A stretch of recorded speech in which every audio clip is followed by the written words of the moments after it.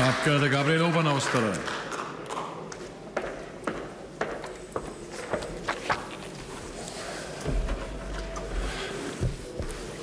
Herr Präsident, Herr Finanzminister, Herr Sozialminister, meine lieben Kolleginnen und Kollegen, meine sehr verehrten Damen und Herren auf der Tribüne und zu Hause vor den Fernsehschirmen, komme noch kurz zu Tagesordnungspunkt 26 und 27.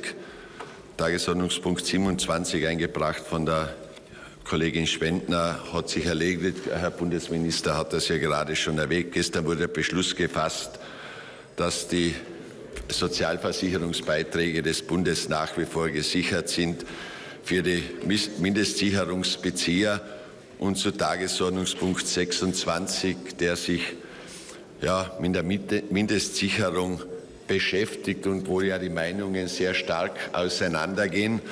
Sagt auch dazu, man muss auch der, wirklich der Realität ins Auge schauen.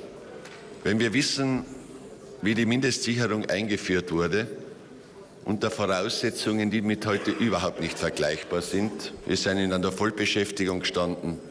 Das Thema Flüchtlinge war überhaupt nicht auf dem Tisch.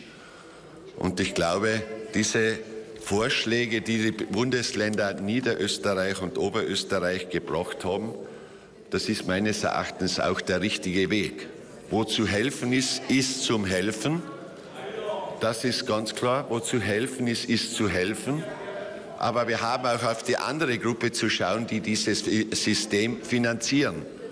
Und wenn wir europaweit schauen, wie die Sozialleistungen für diesen Bereich vorhanden sind, Frau Kollegin Schwendner, da brauchen wir uns in Österreich nicht schämen. Das sage ich Ihnen ganz ehrlich.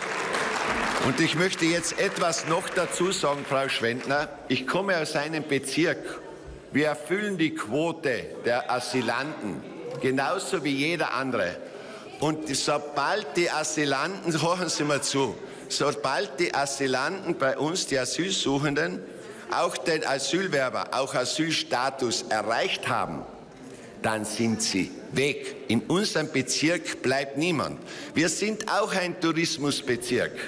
Wir suchen auch Arbeitskräfte. Wir suchen Abwäscher. Viele von diesen Leuten hätten die Möglichkeit, auch in eine Abwasch zu gehen und dort ihre Leistungen auch zu machen.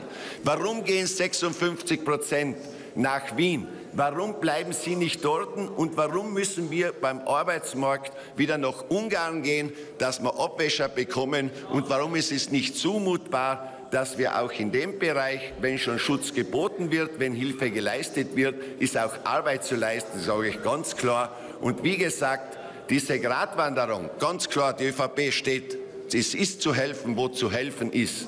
Aber eines muss auch klar sein.